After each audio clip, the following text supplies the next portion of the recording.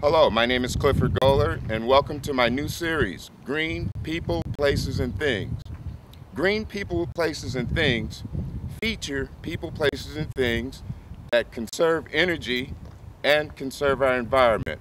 With me today is Mr. Rick Woodbury, President, Founder, and CEO of the Tango Commuter Car Company. Welcome, Rick. Hi, how do you do? I'm fine. So, Rick, tell me a little bit about the uh, Tango commuter car and what was the uh, mindset behind uh, creating such a vehicle? Well, back in about 1982, I was working down in uh, Beverly Hills and commuting to Hermosa Beach.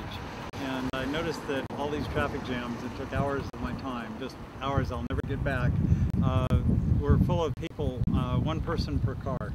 And I thought, you know,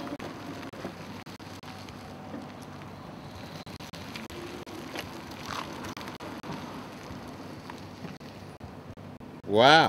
standard just like any other car, but make it fit in half a lane with more clearance than a truck has in a full lane. So um, we accomplished this with our prototype, and it's been 11 years of work getting it into a more production kind of model. It's still quite expensive because it's hand built basically. There's 11 on the road now. But we've developed this car, uh, the Tango, the orange car in the background here. Uh, it'll fit in half a lane with more clearance than a truck has in a full lane. Sold the first one to George Clooney. The Google founders have bought three of them. Uh, it's a car that's very, very fast, uh, extremely safe. Uh, I consider it the safest car on the road. It has a full race car roll cage, much like a NASCAR Anytime you're ready.